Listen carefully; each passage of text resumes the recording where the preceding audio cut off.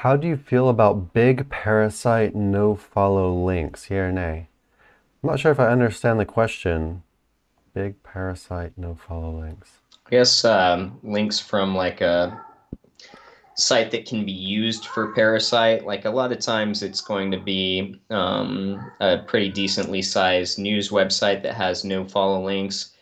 You know, the the term Parasite, we're typically talking about ranking those articles in the SERPs, right? Um, one second. I'll get it anyway.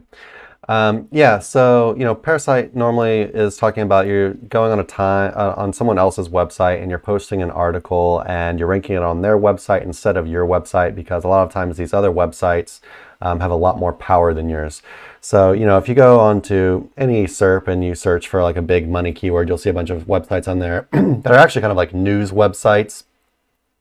And people essentially do will buy a guest post on the website but uh, they usually don't link to themselves from the website. They usually uh, put in a, their own affiliate link um, in the article to whatever product. So, um, so you know they're getting paid for affiliate clicks uh, on someone else's website, essentially.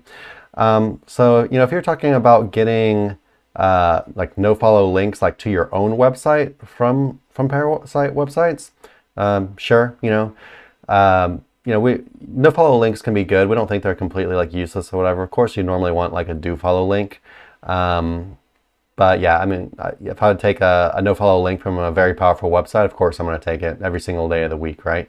Um, you know, people do Haro. A lot of Haro ends up being no follow, but a lot of these websites are, are real strong, real powerful.